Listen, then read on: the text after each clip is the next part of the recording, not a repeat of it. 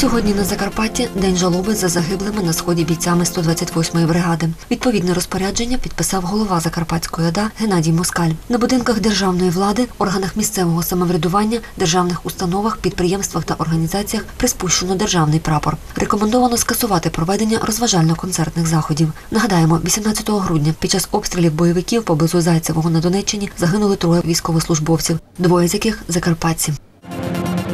Черг на кордоні не буде. З 25 грудня розпочинається зимовий туристичний сезон. У зв'язку з тим, що у святкові дні на пунктах пропуску європейсько-українського кордону кількість туристів збільшується, прикордонники вирішили збільшити кількість нарядів, що чергуватимуть на КПП. Крім того, починаючи від католицького різдва, європейські перевізники припинять рух через кордон. Тому туристичні автобуси на КПП Ужгород Вишнє Німецьке пропускатимуть вантажними напрямками. затримок у транспортних засобів, будь-яких питань, е, які пов'язані з пропуском через державний кордон, е, ну, практично не буде. І е, посилення, як і в Мукачівському загоні, буде офіцерами з управління прикордонних загонів для того, щоб е, можна було здійснити оперативно прийняти рішення щодо пропуску тих чи інших категорій осіб, які е, слідують через державний кордон. 440 пачок цигарок виявили прикордонники та митники у пункті пропуску Лужанка. Контрабандний тютюн до Угорщини намагався перевезти 26-річний українець. Сигарети водій сховав у паливному баку машини. Тютюн і автомобіль вилучили. Сума оцінки цигарок ще встановлюється. Транспортний засіб оцінено майже у 28 тисяч гривень. На Закарпатті три дороги закриті через переливи води з річок. На дорозі місцевого значення Ужгород-Демичі висота переливу 65 см. На дорозі Великий Ком'яти Вилок висота переливу 15 см.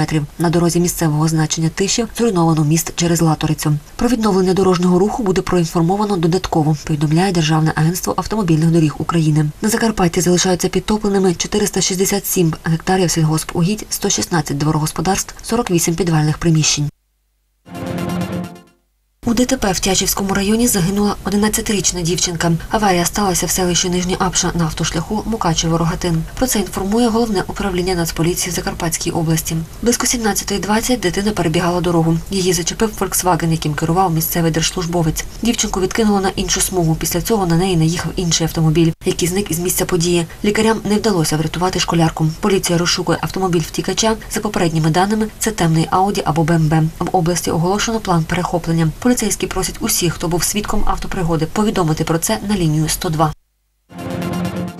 У школах і дитсадках Мукачева сьогодні відновлено навчання. Дозвіл на це дала спеціальна комісія, але з однією умовою кип'ятити воду. Водопостачання у місті відновили вчора ввечері. Нагадаємо, в суботу в Мукачеві річка Латориця підтопила 24 свердловини чи Надіївського водозабору. Через це без води залишилися близько 12 тисяч споживачів, а в навчальних закладах призупинили освітній процес.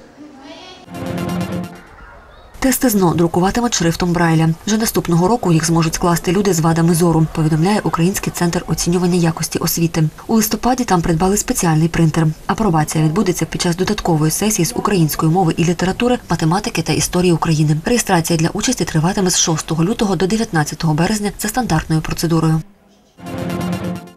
Сайт Освіта.ua запустив роботу інформаційної системи. Вона створена для надання корисної інформації майбутнім вступникам до вищих навчальних закладів. Сьогодні платформа Вступ Освіта.ua показує статистичні дані вступної кампанії 2017 року по кожному вищому навчальному закладу України. Зокрема, майбутні абітурієнти, їх батьки та освітяни можуть дізнатися середній рейтинговий бал зарахованих на бюджет, на контракт, середній бал ЗНО, середній рейтинговий бал всіх зарахованих. Також зазначена інформація доступна по кожній спеціальності, за якою проводився набір абітурієнтів у 2017 році. Планується, що на сайті також висвітлюватимуть інформацію про перебіг вступної кампанії 2018 року.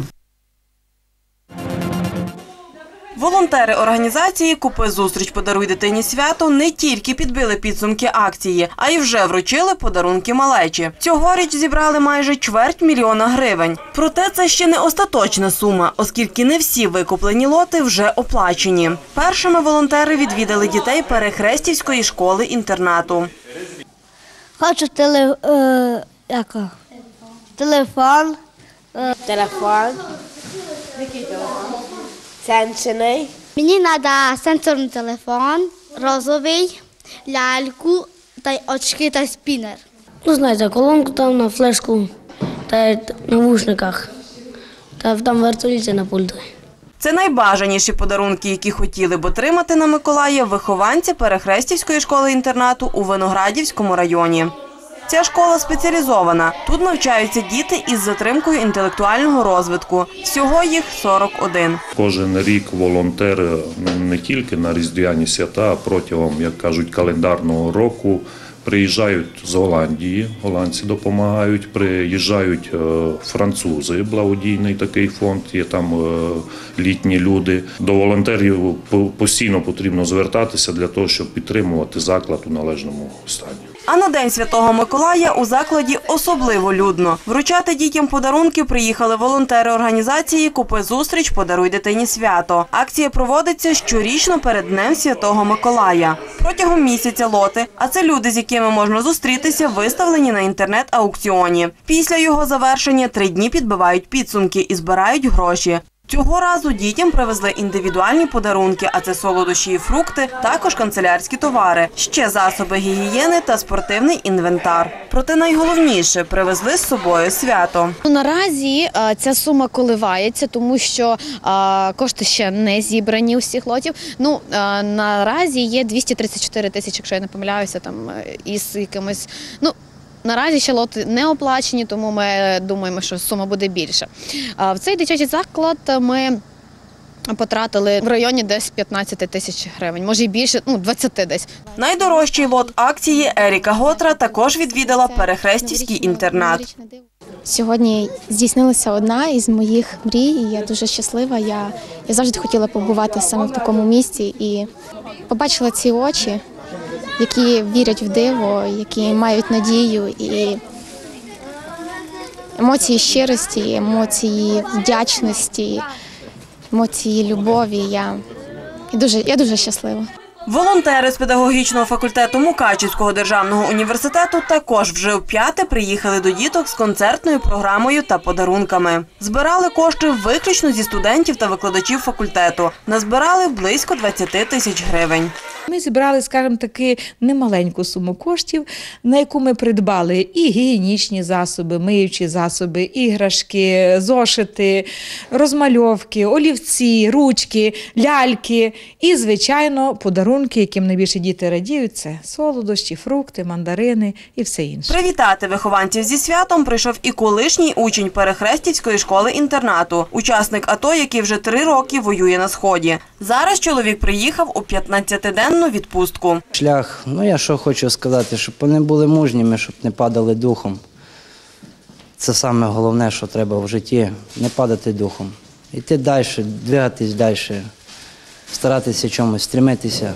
Збір коштів в рамках акції Купи зустріч подаруй дитині свято проводять лише раз на рік перед Днем Святого Миколая. Але грошей, які вдається зібрати, а цьогоріч це майже чверть мільйона гривень, вистачає, аби допомагати не одному дитячому закладу протягом всього року.